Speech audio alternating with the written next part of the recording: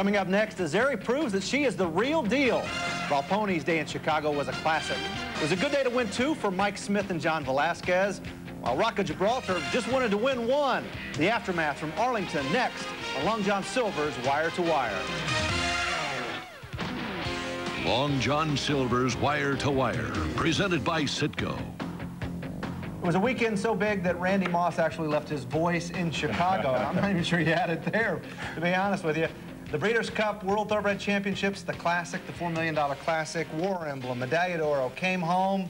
Volponi? Volponi yeah. wasn't even on the radar screen for a lot of people leading up to the Breeders' Cup Classic. And all those horses you mentioned, I mean, War Emblem, empty. Medaglia d'Oro, got to the top of the stretch, striking position, empty. Came home, backed up on the turn. Hawkwing, nothing. Evening Attire, nothing. Meanwhile, Volponi ran the race of his life. Let's go back to Saturday, the last race, the Classic. Here's Tom Durkin.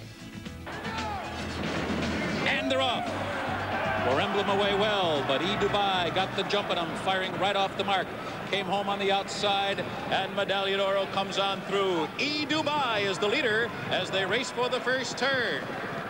On the outside, Medaglia d'Oro, and War Emblem is in between horses. He's running second now, and he'll go on to challenge E. Dubai into the clubhouse turn. Perfect trip, takes to the inside in fourth. Volponi rides the rails in fifth.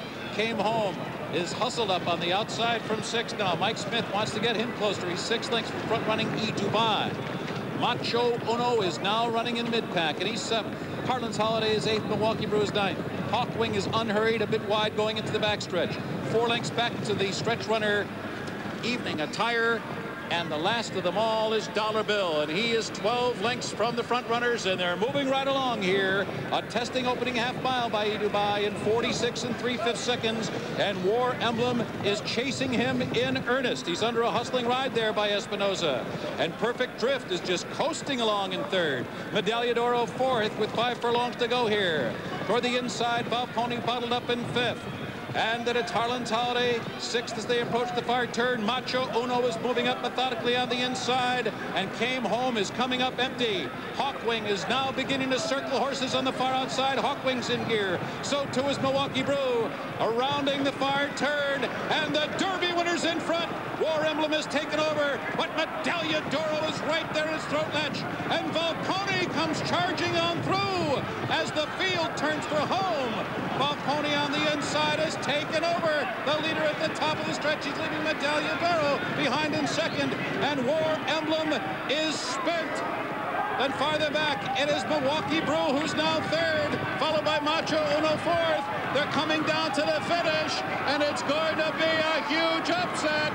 40 to 1 on the wire. Volponi scores in the Classic. He wins by a half a dozen lengths. Sent off at 43 to 1. Volponi wins by six and a half under Jose Santos. What a day for 77-year-old Hall of Fame trainer Phil Johnson. Final race of the career for War Emblem and came home. Obviously, Mr. Johnson did a lot of things right, and the, uh, the thing that he's going to be most remembered for, I think, is the decision to run Volponi in the Classic in the first place. He was also pre-entered in the Breeders' Cup Mile as a second preference, and going into the Breeders' Cup week, most people thought he would wind up running in the Mile. Johnson pulled a switch, said we'll try him in the Classic instead. Of course, more money. Now, at the start, you saw uh, E. Dubai on the inside go to the lead, War Emblem chasing. Even though the fractions of this race were not as fast as War Emblem's Preakness, Victor Espinoza has to basically hustle War Emblem just to stay within a length of E. And even though War Emblem went past him at the, at the top of the stretch, it was clear that this was not going to be War Emblem's day. Came home backed up badly. Meanwhile, Volponi goes past Medaglia Oro at the top of the lane like he was standing still. A ground-saving ride from Santos. Medaglia Oro coming into this race off a two-month layoff. Maybe Bobby Frankel, as well as Bob Baffert, might be second-guessing their decisions to have such inactivity leading into this race. Meanwhile, some confidence expressed by a horse, Phil G. Johnson, after Volponi's victory. Well, he was just getting so good, and we were sitting at home, and I was talking to my wife. We kid around a lot, and she hollered at me for something. I said, Saturday, you're going to be at the 316th pole very proud of me. And then she told the girls that, and they asked me, I said, I do believe he can win a race like that if he gets a good trip. And I didn't know how he'd run in mud, and it dried up. We talked it over, and I said, you've never ridden him with blinkers on and he'll be more aggressive.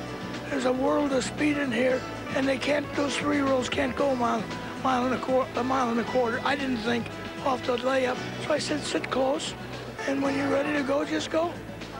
You know, even though he runs second, third, you know, he went to the grass, run second. He went back to the door. He run second in the um, Maryland Cup, and uh, now he show up in the Classic and he went big. I mean, he, he should have a little bit of consideration because uh, he's a great horse. He, he deserved to be uh, one of the top. Even though Phil sounded like Vito Corleone, he's really a sweet guy. Made him an offer they can't refuse. ESPN.com. It was the final weekend for the Pick Six Challenge presented by Digiturf.com, and we had a winner. Congratulations to Jack Hayes. Expect more fun to come from our website at ESPN.com, where you just click on horse racing. Still to come, Azeri was smoking in the distaff. And we'll also go racing down under with the Cox Plate. And in Final Furlongs 2, High Chaparral mows the lawn in the John Deere turf. ESPN gives you more of what you want from a sports channel. More variety, more championships, world-class coverage, world-class stars, the best sports, the biggest names, original programs, premier events, one-of-a-kind special, 360 degrees of sports, 365 days a year. ESPN, the worldwide leader in sports. ESPN goes spanning the globe this November to bring you the world of sports. The NBA on ESPN kicks into high gear with basket-to-basket -basket coverage like never before. The top clubs in Europe meet in the UEFA Champions League with match days 5, 6, and 7. The finest golfers in the world hit the links with PGA tournament play all month long. The hard-hitting action of American football continues their ferocious play with two games each week. The great action from the pitches of Holland continue with Dutch football. The NHL on ESPN will thrill you with the high speed and fast action of the National Hockey League. The Tennis Masters Series will crown a champion in Shanghai in the Tennis Masters Cup. The rough and tumble play of the Scottish Premier League rolls on. Great action this November on ESPN, the worldwide leader in sports. The NFL on ESPN. The hard-hitting action of American football is rocking and rolling as we head into mid-season. Are the Jaguars cats of prey, or will the Giants tame them into little pussycats? Both teams are desperate for victory. Jaguars-Giants, live Monday. It's a battle of division leaders when the mighty Green Bay Packers face the Miami Dolphins. Can the pack harpoon the fish, or is it the season of the Dolphin? Dolphins, Packers live Tuesday. The NFL on ESPN. This ESPN2 presentation of Long John Silver's Wire to Wire is brought to you by Long John Silver's. This is seafood country. Citgo, we know you. The American Quarter Horse Association. Let freedom ride. The race I wanted to see on Saturday was the first one, the distaff, but Azeri took all of the drama out of that one pretty early. Right as soon as they left the gate. She's obviously a phenomenal racehorse, yet she was only a lukewarm favorite in the distaff. A lot of handicappers expected to see an early speed duel, myself included, between Azeri and Imperial Gesture. But leaving the gate, Azeri just toyed with Imperial Gesture. Outran her to the lead, very fast fraction, still had plenty left, and that was the game plan from trainer Laura de Seroux. We were very confident, and the path leading up to this race has been handicapped, so Mike has never really let her run because we, you know, we knew we were going to pick up weight all year and the ultimate goal is the Breeders' Cup. So he was really looking forward to letting her roll today and see what it really felt like. She has won all of her races in the same style that you saw today, and it is very, very rare for a filly to um, end the year with um, only one second and all, you know, what, 10 wins out of 11 starts is uh, very, very rare. And it's, it's only a true champion that can amass a, a record like that. After Volponi's upset in the Classic, the one Speed Nazari becomes the leading horse of the year candidate. Agreeing with that assessment, a guy that didn't even have a horse in the distaff, trainer D. Wayne Lukas. I agree with Laura in a lot of ways. The horse of the year uh, has to have a, a, certain amount of charisma. And um, I think that uh, when you get to these championship events, it, the one that captures the day is the one that usually will come out on top. And uh, her filly certainly did that. There are some other horses that have done that. You guys out there don't have an easy job. I'm glad I don't have a vote. The most courageous effort of the afternoon. A half hour later in the Long John Silver's Breeders' Cup Juvenile Fillies, the even money favorite Storm Flag Flying came back again to defeat Composure. Her trainer, Shug McGaughey. You know, she made when she made the lead over Santa Catarina, then uh, she just, you know, she tried to pull herself up a little bit. Um, you know, and then when that filly ran by her, you know, then that kind of gave her the inspiration to keep going. And I thought to uh, come back running. I thought she, you know, I thought at the end she was a pretty handy winner if she throws, um, you know, a new trick on us or something, it might have been something I've seen before through her through her grandmother or mother. So, you know, I think it helps some. Makes it more exciting. The family tree includes three Breeders' Cup winners. Grandmother, Personal Ensign, her mother, My Flag, now Storm Flag Flying, all trained by Shug McGaughey. Next up the mile, check it out. The heavy favorite, Rock of Gibraltar, last leaving the starting gate. He's a come from behind her, but they didn't want to be that far behind.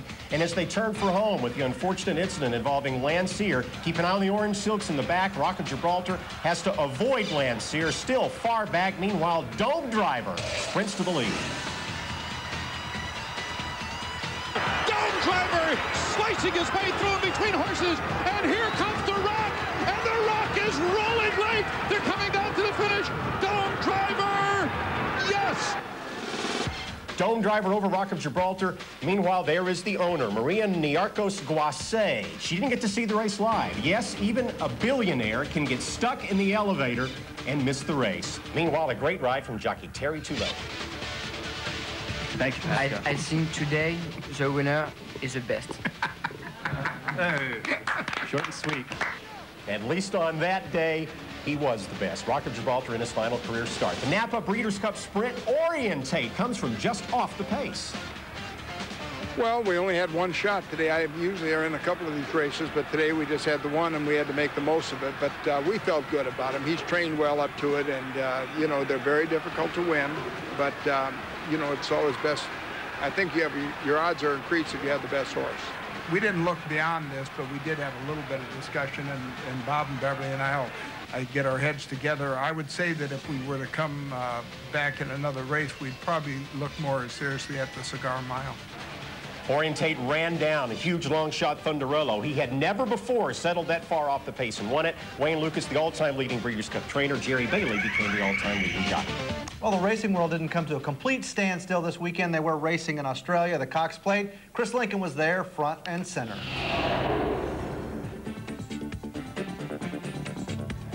Well, halfway around the world, about 15 hours before the Breeders' Cup ran their races, Australia ran its greatest weight for age race, the WS Cox Plate, sponsored by Carlton Draft. It was a race that featured three superstars. Northerly, defending champion of the Cox Plate, who just won the Caulfield Cup the Saturday before. Sunline, making her last appearance, the seven-year-old champion New Zealand race mare, who won this race twice before herself and the invader from Godolphin, Grandera, rated the top 2,000 meter horse in the world, the highest international rated horse ever to come to Australia. They were the three stars in a field of nine. Let's pick up the call from David Raphael. Sunline Corners at the bend. She's at half length in front of Northerly. Defier's coming on. Grandera switching out now. Flashes the tail. Lonhro can't come on. It's Sunline. Northerly's laying it down. Grandera's coming to the outside. He's getting wound up with Defier. Northerly kicked, sprinted. Once he's second Cox Plate. Grandera's flashing with Defire. Northerly, Paddy Payne wins the Cox Plate three quarters. Northerly wins the Carlton Draft Cox Plate for the second straight year as the second-year-old gelding wins his 17th start in 27 races and pushes his career earnings over $4.2 million. One length back in second, the five-year-old Defier. The Godolphins Grandera under Frankie Dettori, another neck back in third. The great New Zealand race mare Sunline, a two-time Cox Plate winner, finished fourth, another length back in her final career start, retiring with earnings of over $6.2 million. Northerly is part owned and trained by Fred Kersley. Northerly, of course, you don't need me to tell you he's a great horse. And with his win today, he's equal to Sunline in Cox Plate status in any case. From the Moonee Valley Racecourse outside Melbourne, Australia, our coverage of the WS Cox Plate. I'm Chris Lincoln for Wire to Wire. Coming up, it's preview time, starting with the Cal Cup and our NTRA Great Stakes. and speed. We look ahead to this weekend's MBNA America Challenge Championship.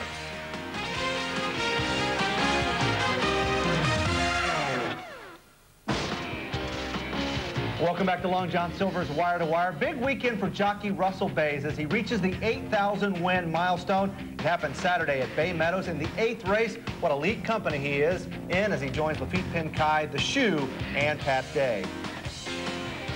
One of the highlights of this weekend will be the Cal Cup at the Oak Tree meeting at Santa Anita. 10 races, and it includes a $1 million guaranteed pick six. The Cal Cup, of course, for California breds, and among the horses we are scheduled to see in the Cal Cup Classic is the white horse, gray horse, actually. Gray memo on the outside. There he is defeating Euchre and Congaree earlier this year at Del Mar in the San Diego. He came back to lose the Pacific Classic in the Goodwood after this, but he'll be one of the favorites against Continental Red and others in this field. Sixth in the Cal Cup Classic each of the last two years, hoping to better that performance, obviously. Then in the Cal Cup Juvenile, the horse in front you see there winning the Del Mar Futurity, Ice Cold Beer at Reds. He defeated some good competition in that race, including Kafwain and Bull Market. Didn't run very well in the Champagne, but he should be on the engine leading the gate in the Cal Cup Juvenile for trainer Bob Baffert. 10 races worth more than 1.3 million and the classic the richest of those a quarter million dollars there and in the california cup this staff we will get to see a comeback Yes, Hall of Fame jockey Julie Krone, who had uh, been, who has been in retirement, will unretire, scheduled to come back in the distaff. And as you can see, the Cal Cup and a lot of these state-bred uh, big days are patterned sort of loosely after the Breeders' Cup. You got the juvenile, juvenile fillies, and also a sprint. And don't forget about that $1 million pick six. It is guaranteed races 5 through 10. In the wake of the Breeders' Cup World Thoroughbred Championships, the MBNA America Challenge Championships now step to center stage. Huge night of racing in American quarter horse racing. Six races worth $825,000. We will start with the Journeyman. The Professional's Choice Challenge is for horses that have started for a claiming price of $7,500 or less in the 12 months prior to the entry deadline for the trial. One horse of note is Streakin' to Romance who not only won the Professional's Choice Oklahoma Challenge back in May to earn a spot in the Professional's Choice Final, but in July almost made the MBNA America Challenge Finals. If it wasn't for Streakin' Sintacha, he would have been racing with the big boys, but he finished second in the MBNA America Texas Challenge and had to settle for the possibility of winning the AQHA's biggest claiming prize. Here are the probable starters for Saturday. This year's Professionals Choice Challenge Championship is worth $50,000. The distance is 350 yards. This is the only challenge final that is not a graded stake. Ford Challenge Championship is just for fillies and mares. One of the first mares to make the final was Belisa, who scored a win in the Oklahoma Ford Challenge. It's Bolisa. Bolisa now has the lead. Lady Tenaya has made it into second. Bolisa is driving on. It's Lady Tenaya and Bolisa, and Bolisa wins the Ford Challenge. They also ran Bolisa back in the Ford Central Challenge last month. Talk about a momentum killer. She finished fourth. Here are the probable starters for Saturday night's finale. This division is for fillies and mares. The distance, 400 yards. A total purse of $75,000. There's a past-winning owner in the mix. Ravage won the Mexico Ford Challenge in Mexico City. She's owned by Ramiro Lopez, who campaigned the AQHA's all-time leading stakes winner, Cool Q Baby. Now to the MCI Challenge Championship, Rockin' Strawfly sent shockwaves through the 870 crowd in March when he not only won the MCI New Mexico Challenge, he set a world record in the process. On the inside, Sign of Laddie has its work cut out now. Rockin' Strawfly's been in front the whole way and down to the 16th pole, two and a half clear. Sign of Laddie with a belated effort on the inside, now to the outer, but it's going to be Rockin' Strawfly by a length and a half, and Rockin' Strawfly first. The MCI Challenge Championship is a grade one worth $75,000. When the series debuted in 93, this turned out to be the only grade one final. And this race is very important when it comes to postseason honors for the distance horses. And now to the two-year-old in the American Airlines Challenge Championship. One Corona for me has enjoyed the terrible two. The son of Corona Cartel has been knocking around in stakes company all year long. He was ninth in the Lazy E Futurity, sixth in the Heritage Place Futurity, and fifth in the Rainbow Futurity. His lone stakes triumph was the American Airlines West-Southwest Challenge at Yavapai Downs in early September. The Bayer Legend Million Dollar Bonus starts with the American Airlines Challenge Championship. Horse has to win the American Airlines at two, the Bayer Legend at three, and the MBNA Challenge Championship, and do it all in a three-year span. Two divisions to go in the Bayer Legend Challenge. Look for Rulon Gardner to put the competition in a headlock. The Bayer Legend is a 400-yard test for three-year-olds. This year, the total prize money is $175,000. And finally, the MBNA America Challenge Championship. Representing California is Chiara Scuro. The son of Chicks Beduino has been seasoned at Los Al. This year alone, he's been third in the Spencer Childers, third in the Los Al Winter Championship, and second in the Vessel's Maturity. His biggest take score of the year, the MBNA America California Challenge. But on paper, the vintage of the day looks to be Kendall Jackson. Kendall Jackson in front with Dash for a Fortune, the extreme outside. One's come down, and it's He's My Dasher in behind who fell. But Kendall Jackson streaking right away, wins it so well. History in the making as Kendall Jackson establishes a new world record at 440 yards. This is the richest race of the six, worth $300,000. The only question mark is world champion Taylor Pitt. Owner Betty Jane Berwin will make a last-minute decision on his participation. For more information on American Quarter Horse Racing, call 1-800-414-RIDE. Coming up, Randy puts the wraps on this year's World Thoroughbred Championship. Frankel was dominant in the filly and mare turf. Baffert pulls a sweep in the Bessemer Trust Juvenile, and the Euro Charge wins in the John Deere Turf.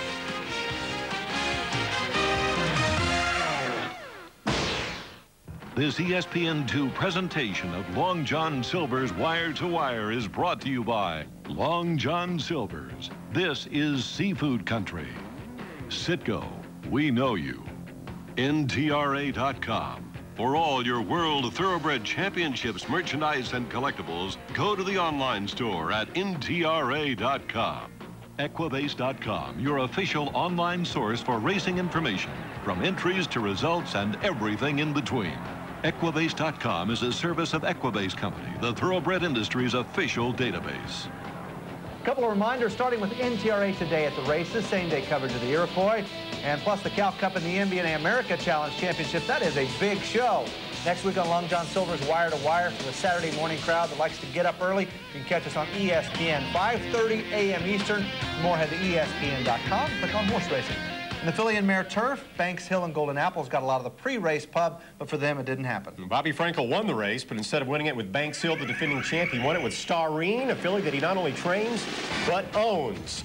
And as we did with the earlier Breeders' Cup races, since most of you have seen these races already, we're going to focus primarily on post-race comments, and here's what Frankel had to say. The thing that the difference between the, these two is that Starine is an absolute freaking soft dog. When she ran on the matriarch uh, last year, she killed Golden Apples. It wasn't even a race. And when I run her up at Saratoga in a Diana, it was soft and she, she made it look like a fast racetrack. So that was the edge I had. It's, it's a bittersweet win too because you know I, I, my my best client I just beat so you know I, I might not have a job tomorrow. you know so it's uh, if, if you want to be honest with you if I'd have finished second she beat me I'd, I'd have been really happy you know honest to God. The Eclipse Award in the Filly and Mare Turf Division could come down to the December 1st matriarch at Hollywood Park, where Starine, Golden Apple, and perhaps Banks Hill all scheduled to meet. Next up, the Bessemer Trust Breeders' Cup Juvenile. Vindication stayed unbeaten with an impressive win. Vindication, second place Kafwain, fourth place Bull Market, all trained by Bob Baffert. No, I thought we were really high on this colt. All my horses trained uh, uh, great coming into this race. Uh, my two-year-old, Kafwain, he ran a great race. He just keeps, he's a tough horse, keeps running. Uh, Bull Market, he got a little tired, but uh, Vindication, I think, you know, he showed us, he when he broke his maiden, he, he, he wowed us in his maiden race. And um, when I took him to Turfway Park, you know, he, he broke horrible. He was way back, uh, ate all this sand and came around and he swooped around there. He made that Arazi move and really gave me goosebumps. Uh, you know, same kind of move that Point Given uh, did when he, when he ran there. What's wrong with him for Horse of the Year? and salvaging what would have been an otherwise disastrous Breeders' Cup afternoon for the Irish lads from Coolmore. This scintillating stretch run by High Chaparral and the John Deere Breeders' Cup turf. Here's trainer Aidan O'Brien. High Chaparral has always been a, a top class, uh, wonderful horse. Um, like the only time he got beat this year was in the in the Arc when it was probably my fault for not giving him a, a day out when he, we weren't able to get a prep into him, and he was just mentally very relaxed.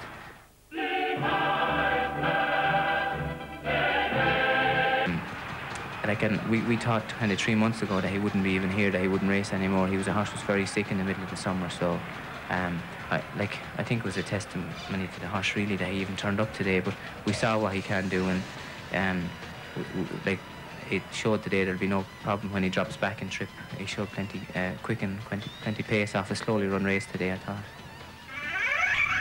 Arlington Park hasn't even cooled off. Well, I guess it is cool, probably. Uh, but let's get your pick for Horse of the Year. Well, a lot of things had to happen for Azeri to be the leading Horse of the Year candidate. War Emblem had to get beat. Came Home had to get beat. Medaglia Oro, Oro, Medaglia d'Oro had to get beat. It all happened. Azeri should be the Horse of the Year. This has been a presentation of ESPN, the worldwide leader in sports. For more, log on to ESPN.com.